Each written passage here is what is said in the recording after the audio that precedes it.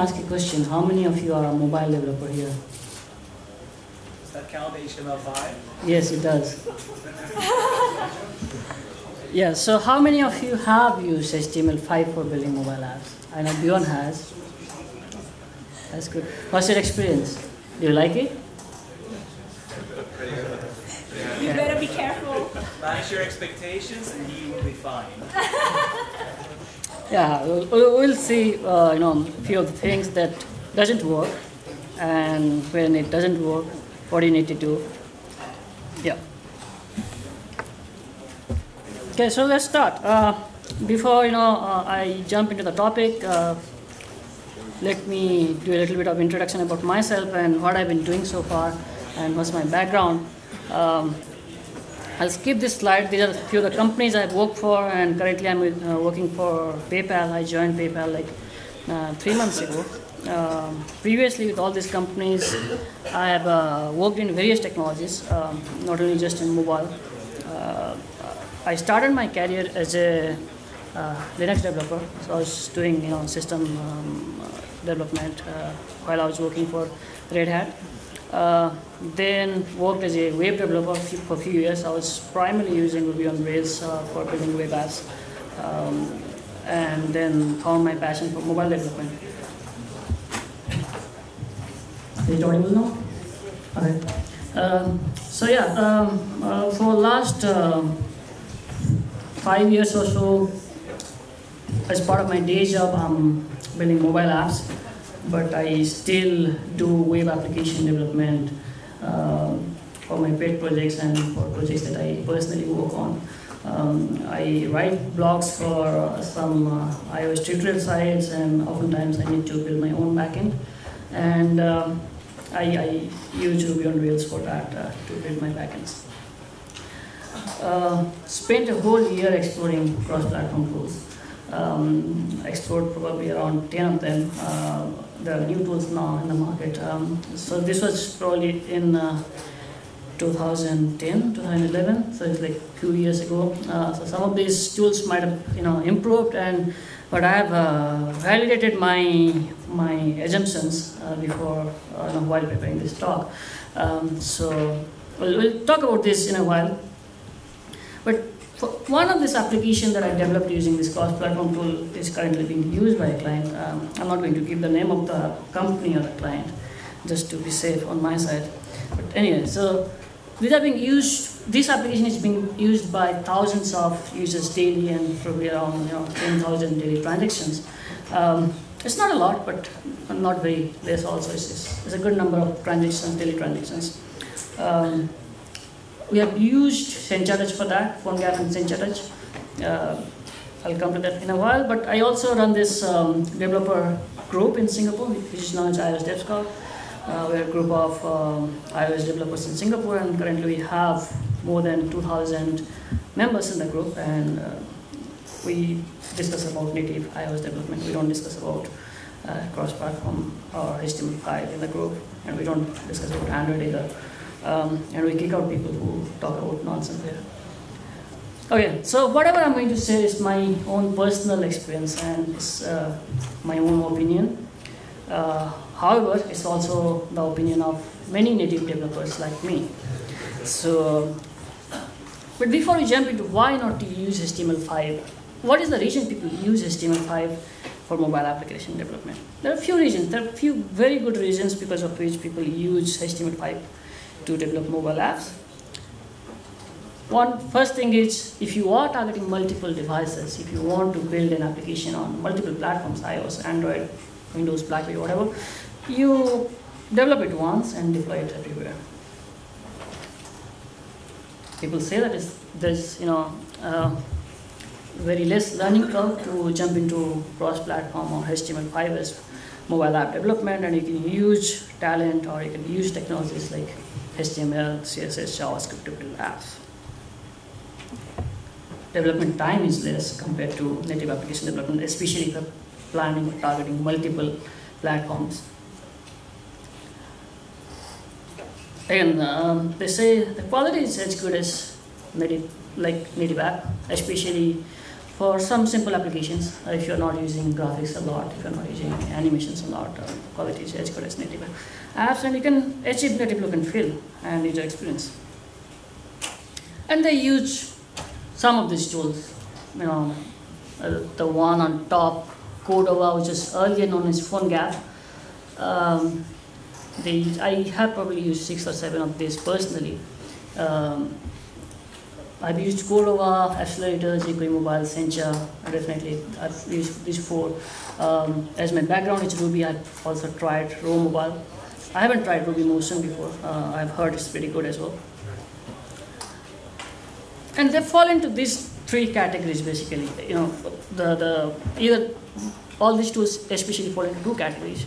Either web applications, so you build mobile web apps using purely HTML, JavaScript, and CSS. So uh, you can use tools like Sencha or jQuery to build that, which works mostly on the UI layer. Or you can build the UI in HTML or JavaScript or CSS, and you can use the APIs of these tools to interact with the hardware. And they have APIs for that. I have heard like there are some tools which allow you to also build apps using .NET and you know C++. Uh, I haven't used those. So let's let's do a quick comparison of these tools, where they, they are good and um, where they're bad. Let's talk about Cordova, which is pretty pretty popular and a lot of people use it. A lot of people know it by PhoneGap. It uses HTML, JavaScript, and CSS to design your application screen. It has its own APIs, you know, to include hardware functionalities like map, camera, um, barcode scanning, and other stuffs. You can use existing Cordova plugins. They uh, you know, approach in a plugin uh, architecture. So for additional functionalities, you create your own plugins and you you can add additional functionalities. Pros are very straightforward. You use HTML, JavaScript, and CSS. Uh, there's a Cordova command line tool using which you can build applications easily for iOS and Android. There's no licensing fee. It's open source and have a lot of existing plugins um, that have basic functionalities. Now the challenge comes when you want something that's not there, when you want to build your own plugin. Now there it doesn't follow the same you know approach. You need to create these plugins using Objective-C or Java. So if you have resources or if you have hired people who are who know HTML5 or JavaScript or CSS, they can't build these plugins and there's a huge performance issue if you use Cordova, uh, especially for real-time dynamic applications. And give you a few examples of applications which are being used by you know, companies like uh, Facebook or LinkedIn, where you interact with a lot of data, real-time data. Both the previous version of Facebook application and LinkedIn application, it was HTML5 based application. And they changed to native there is a reason for it. If you have used the previous version of HTML uh, Facebook application, LinkedIn's previous application was pretty good actually. I think it's probably one of the best HTML5 based applications that has been built. But even then, they moved away from HTML5 and native application.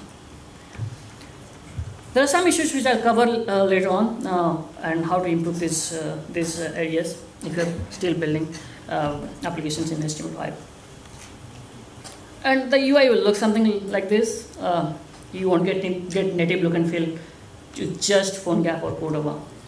You'll see a lot of applications with a lot of buttons on the screen. You'll see, you know, um, people have put a lot of buttons, uh, especially if you have hired people who are familiar with web development primarily, and they haven't gone through things like, uh, you know, iOS human interface guidelines or how to build mobile apps for iOS or Android specifically. They will build UI that looks like websites. Titanium Appcelerator is also a very popular uh, tool. Uh, I had actually a couple of calls with the Titanium uh, team, core team, when I was uh, working for one of my employers. Uh, I'll say some of the experience uh, with them. But initially, when they launched the platform, even if for a simple Hello World application, the application size would be 75 MB or more than 70 MB. That's because they include all the frameworks by default without asking you what frameworks you need. They include all the frameworks even if you don't need them. They improved it over time and um, if you are installing using 3G or 4G network, the maximum you can install is 20 MB. And if you want to install an application which is more than 20 MB size, then you need to, you know, use Wi-Fi. So here, Titanium uh, lagged in that area initially, but then they have improved a lot. And initially they used a uh, web view approach, uh, rendering it inside web view, but now they've changed the architecture. They mostly use JavaScript to mobile app, uh, to create a mobile applications. They do not use HTML directly or CSS directly. They have something called JSS to create the style sheet. You can embed HTML to a page, but you do not write HTML code to create the um, UI. And they have, you know, uh, JavaScript APIs that translates directly to your native symbols for, you know, Objective-C symbols or Java-based symbols. So it's, it's better than running in a web view and they have modules that supports additional functionalities uh, similar to PhoneGap plugins. They're great tool sets. They, they have uh, an IDE that can you know connect with your Xcode or Eclipse and they, they can deploy directly to your um, device. Problem is that again you don't you get rid of mostly HTML and CSS. You uh, you use JavaScript mostly to uh, build apps. But Titanium APIs are harder than Cordova APIs if you're not familiar. Again, the learning curve we are talking about initially is same across all the platforms that you'll use. Even though you know HTML5, even though you know JavaScript or CSS, you still need to know the APIs of these platforms or the tools that you're going to use. If you're basically you're saying I'm going to use cross-platform tools because it's easy, or because it's, I can jumpstart into it right away without learning anything else, that's completely the wrong approach. You need to learn a lot of things. Uh, and you need to do a lot of things to make sure it, it's, uh, the quality is really good. Uh, they have horrible support. I'll, I'll show you a couple of screenshots later on, even for trivial things. For Apple or Google, if you, even in a beta version, if you file a bug, they immediately fix it in the next release. These are some of the bugs that are being filed by users. The trivial things, unable to debug on device. It took, took them more than one year or two years to fix these issues. So again, um, there's an additional layer they're building on top of this native APIs, whether it's PhoneGap API or Titanium API. So what that means is whenever Apple or Google is going, going to launch a new library or new platform or new API, it's not immediately available if you're going to use PhoneGap or Titanium. You probably need to wait six months or a year. You can start developing after six months or a year. And you can probably, by the time you launch this application, there will be tons of other applications that are already in the market with this particular functionality on APIs. And this huge problem in backward compatibility. If you have used PhoneGap, you have written a code now, six months later, it might work or it, it might not work because they change their APIs a lot. Same with all the other platforms. Good thing about Titanium is that uh, have the look and feel is native. You can get native look and feel. Um, the bad thing is that it works well for iOS. Performance is really bad for Android. So it's very um, sluggish on Android. It works, um, you know, well for iOS applications. Sencha Touch and jQuery Mobile that I'm going to talk about next are not really uh, meant uh, for hybrid kind of applications. You need to use something like WebView or Cordova uh, if you want to use Sencha or jQuery Mobile. Sencha just provides you the UI layer, but same with jQuery Mobile. Um, you need to use or render uh, this in um, Cordova. The good thing about Sencha is that, oh, I forgot to mention one thing uh, from Titanium Okay, I'll just talk about it. The modules that I talked about, you can use the basic modules that are supported by them uh, that comes out of box. If you want to create your own module, then you need to buy their license, which is which is a lot. I think if you want a decent support, you need to pay about uh, 10,000 or something to get the license. Uh, so which is a lot. Um, there is one instance um, uh, also, uh, I attended one of their webinars and I asked a couple of uh, questions related to the performance. How's the performance? Um, how did it compare, you know, running it in a web view? Later on, I real, you know, realized my questions are being deleted from the forum. You know, it was a live webinar, and then I, I reported my manager later on that these are some, some of the important questions I asked, and they, they deleted the questions from the forum. So interesting. But anyway, they have improved a lot in the last two years. But you need to be careful if you're going to use it for new APIs or new applications, and you need to make sure you always make your code base up to date. Sencha has something called Sencha Architect. It's a drag and drop, uh, drop tool to create your UI components. It's something similar to Storyboard if you've used Xcode. Um, their UI is pretty good. Um, their extensible UI support. Native packaging can be done using Cordova WebView. They have something called uh, Kitchen Sink, which contains a lot of uh, sample codes you can um, use kitchen sink. I'll just give a demo of uh, kitchen sink. You can have uh, this thing on your uh, local machine also. These are how the Sencha UIs look like. Uh,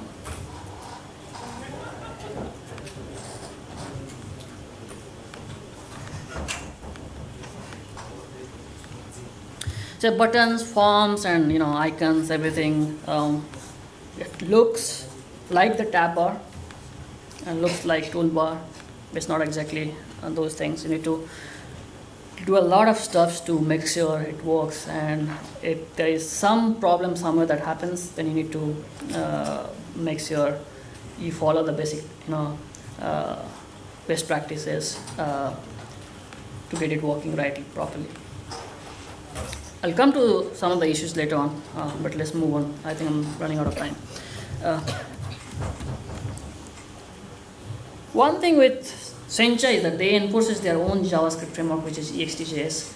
If you haven't used EXTJS before, it's, it's a different language, different framework, and the syntax is going to hit you um, when you look into EXTJS. Uh, if you have used basic JavaScript, you can't jumpstart into Sencha Touch immediately. You especially need a month or you know some weeks at least to get your hands around Sencha Touch. You need to get a license for Sencha Architect if you want to use the drag and drop tool. Um, I think it costs more than thousand or something. It doesn't provide you native look and feel. It provides you something similar, but it doesn't provide you native look and feel. And the EXTJS is not easy, as I mentioned. So as you see this, this you know, cons of these various platforms, you'll see whatever the initial regions you started this cross-platform tools with are slowly getting rolled out. So you, basically, you know, you started because it's fast to start. You know, you started because it's easy to start. It's not really easy uh, to uh, work with these tools. And some applications that are being uh, built with Sencha may look like this. Again, jQuery mobile, uh, same thing. It provides you the basic UI, uh, you know, uh, layer. It works well if you're going to use their own, uh, their, their basic uh, themes. But if you want to modify themes, or you want to create your own themes, or you want to modify a component that's being provided by them, you need to have knowledge to modify the jQuery source. So, which also requires some bit of experience and knowledge. and this is um, this is a uh, you know UI where you can modify different themes or you can use different themes. So what's really bad? We have, been talking about performance. So what is really performance? Or what is really user experience? What is really bad in these things? First thing is user experience. You primarily develop an application thinking about two platforms in mind. And if you don't use, let's say, Titanium, if you go with PhoneGap, Sencha, PhoneGap, jQuery Mobile, both of your applications are going to look similar. Your iOS application, Android application. The problem there is a problem with that because you, your iOS users and your Android users are not familiar with this UI. There are tons of other native applications that are familiar with the user interface of the native applications, not with the application that you are going to build. I'll show you some, some examples later on. One of the things that a lot of developers face, and you know, you have also probably faced, the scrolling is not as smooth as the native application.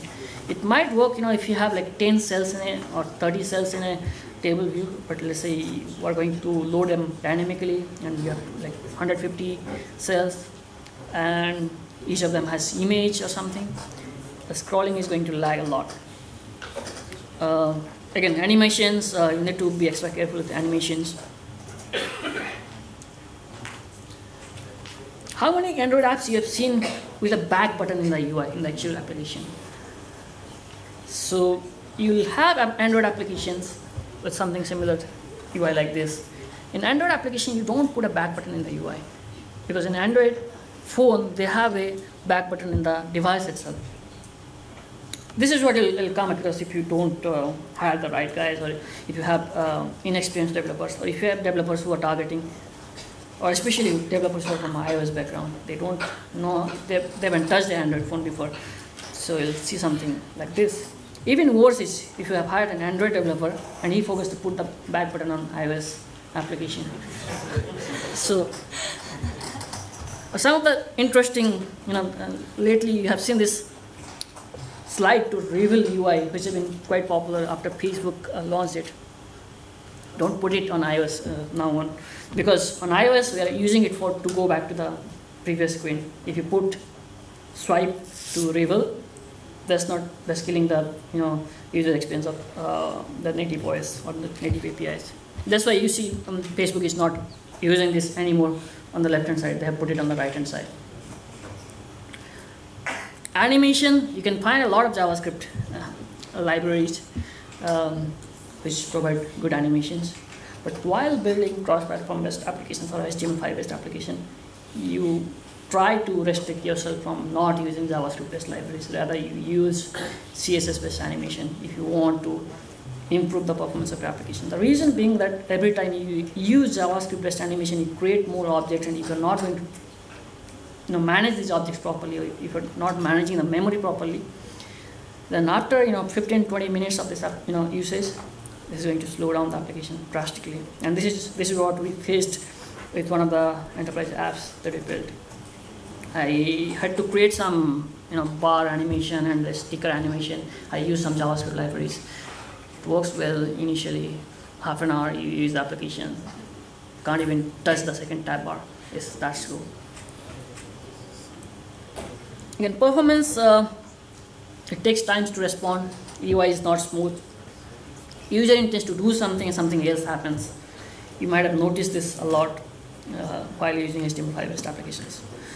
Initial launch time is a lot considered, um, you know, if you compare it with native applications. The reason being, if you have a lot of JavaScript files, it's basically you know code.js, jQuery.js, or Sencha.js, and if you're not compressing them properly, and if you're loading them initially on, on the main screen, it's going to make your users wait for you know, five seconds, six seconds. It's a very bad user experience. If your user is going to wait for five, six seconds to even see the first screen, probably is going to delete the application. If you're loading remote images on the main page, that's, that's also going to you know, kill the performance of your uh, application. To improve the initial launch, launch you know, time, you can use some of the practices that you've been, uh, that you've been using for web app development. Uh, you know, compress the JavaScript file, or you know, use local JavaScript files instead of loading them remotely. But however, if you need to use remote, you know, um, JavaScript files, make sure you use CDNs. And uh, prefetch, you know, JavaScript for additional pages while you are on the main screen even though your users are not going to use the additional screens, prefetch those JavaScript files, you know, if you're not doing any expensive operations. Uh, memory management. Many of web developers don't think about memory management or object lifecycle. That's because when you're building website or web applications, it's going to use the system's memory, which is a lot. But if you're going to use or build an application for mobile devices, you need to think about it a lot. Uh, you never unbind the events once the usage is finished then never think about object growth or memory leaks. You can use simple tools like uh, you know Chrome's profiling tool to uh, check how much objects are being created and uh, how much memory is being allocated, and you can manage it properly. But if you are going to use Chrome and you have a Cordova application that needs device functionality and you have JavaScript that needs device API, that's not going to work. But you can use iPhone simulator and profile it on Safari. You can do the same thing with Android, I believe. Uh, JavaScript, I think you need to make sure you need to use asynchronous calls or web workers at least to uh, make sure your networking calls are proper. Developing an application like Instagram is really difficult um, with HTML5 based application. The reason is not the flow. On Instagram, what happens is while you are filling up the form, it uploads the image to the uh, server, and by the time you post, the image is already being uploaded. And if you don't post it, it's being deleted later on. That kind of user experience you won't be able to achieve through HTML5 based apps. Again, you can use web workers. I think that's being introduced in iOS 7. I'm not sure if it's there on Android uh, as of now, but it's part of the uh, JavaScript engine. Uh, there's a link. I'll share, I'll modify this slides later on and I'll put some more resources to the tools that I've used to kind of improve uh, uh some of the apps. I no longer build HTML5 based apps, but then I've used a bunch of tools uh, that had helped me earlier. Caching. So HTML5 based application, they uh, they use the browser's cache to cache you know URLs or images. So if you have uploaded a new image or you have modified some changes to your URL, they probably won't show up immediately. How many times you have noticed in the previous version of uh, Facebook application, somebody else's photo is being displayed on somebody else's profile. You know, uh, if you updated some you know profile picture but it's not immediately being displayed, those kind of problem will happen uh, if you don't expire the cache properly or if you have hard coded the names especially. So for example, instead of doing something like this, you can use a version number so that uh, it can it can load the new URL, or you can append a timestamp with the images so that the newer images can be loaded. Otherwise, it will still use the cached image, which is part of your browser's cache. Okay, I'm almost done with my talk, uh, but my conclusion out of everything is that do it right. Uh, if, even if you're thinking about using cross-platform based tools for prototyping, there are easier way and faster way to do prototypes. You can use simple, you know, just want to focus something to your clients, you can use something like POP or Origami to create prototypes, or even you can use Xcode Storyboard um, if you're targeting iOS applications. There's a new language called Swift, which is very nice, uh, very easy to learn. A lot of people who didn't learn iOS initially because the syntax of Objective-C is little difficult or a little different than other languages. But you can use Swift and it's really awesome. And join our group, come to our meetups and then we'll help you out. Um, if you have any questions, especially on iOS side, find a similar group for Android if you're passionate about learning Android. Um, we'll have a Swift workshop, I think, sometime um, next month or maybe in December. We had one, you know, a couple of months ago, um, which was a bit okay, but this time we'll focus a little bit more on hands-on and then uh, we'll see how, you know, how we use Swift to build uh, native mobile apps. Okay. Any questions? All right. Thank you. Thank you, sir. Thank you, sir. I all right, so I'm sure we have uh, lots of questions from both the native developers and the HTML5 developers, or even hybrid ones. Come on. Thomas? The microphone. I want to add on. Yeah, sure. I want to add on to it. Oh, I'm on. Okay. I want to add on to it uh, in the way I think there are good, a few good points in your talk, like as an expectation management. Like if you go into web development for mobile, uh, it has its own challenges uh, that you need to be aware of, and it's not just like if you can create a website, you can create a mobile app, it's going to be awesome. Uh, it's not going to be that straightforward. Uh, there was one point in your slide that, that I liked, just on the one before. Uh, you can do really well done applications on mobile with web technologies if you know what you're doing. Yep. Uh, if you think you want to use JavaScript animations, for example, I would say you're maybe not that good. Uh, there are lots of alternatives, and mobile browsers these days are great in uh, supporting modern web standards, uh, CSS animations, and many other tools at your disposal that can create amazing experiences on mobile that are fluid. You can actually upload in the background. Uh, you can use optimistic design to delay actual server interaction until the user interface has responded to the user, that action has been understood, and so on. You can make uh, really great experiences on mobile, but you really need to know what you're doing on the web. Right, that's a great comment, add-on comment. Any other questions? Maybe some of your experience uh, when developing with frameworks for HTML5. I'll, say another thing Yeah, on, sure. on this topic. Um, so the application that we built, Apple rejected it initially. Um, they said, okay, uh, it's a HTML5 based application and it's not doing much. And the client, you know, appealed again and then they said the amount of effort that is being put in the application.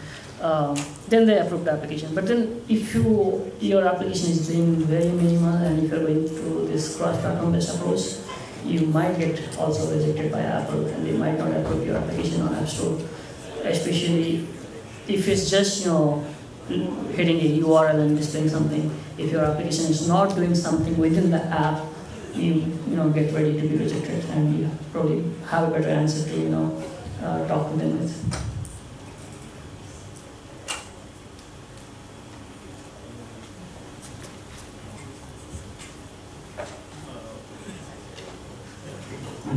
So my experience is like technically definitely, uh, as you mentioned also, you mentioned that some of the issues there that we shouldn't go for uh, hybrid or mobile application development. But from business point of view, sometimes you have to go for that path because of the development timeframe, project timeframe.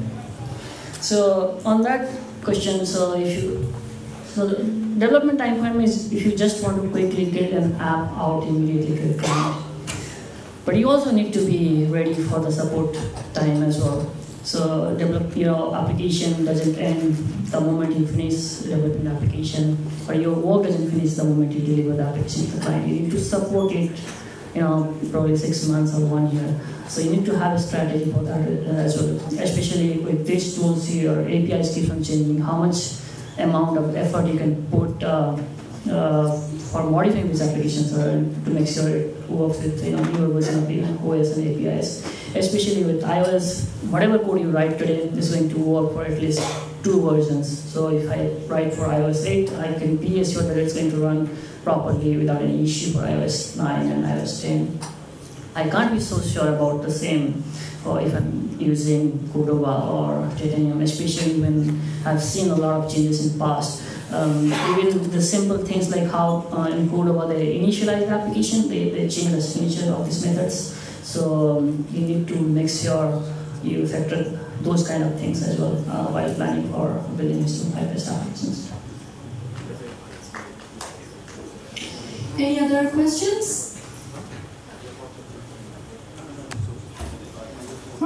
not, uh, thank you very much, Sue, for an opinionated talk, but I bet each of us are